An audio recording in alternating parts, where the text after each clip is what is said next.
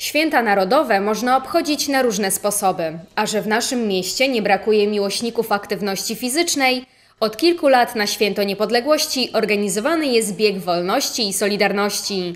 Tradycyjnie odbyły się dwa biegi. Honorowy na dystansie około 600 metrów, po ukończeniu którego każdy dostawał pamiątkowy medal, oraz półmaraton wiodący ulicami miasta i gminy Ostrów Mazowiecka, w tym ścieżkami Ostrowskiego Nadleśnictwa.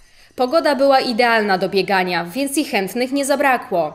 Na starcie półmaratonu stanęło 86 mężczyzn i 12 kobiet, zarówno z Ostrowi Mazowieckiej i powiatu, jak również z innych miast z różnych części Polski. Jako pierwszy linię mety przekroczył Przemysław Dąbrowski z Agrometal Ostrołęka z czasem 1 godzina 16 minut i 33 sekundy.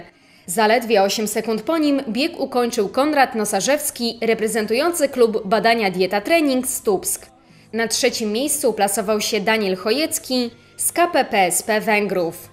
W kategorii kobiet zwyciężyła Anna Kessler z klubu Walnięta z Kopyta Stare Lubiejewo z bardzo dobrym czasem godziny 34 minut i 4 sekund.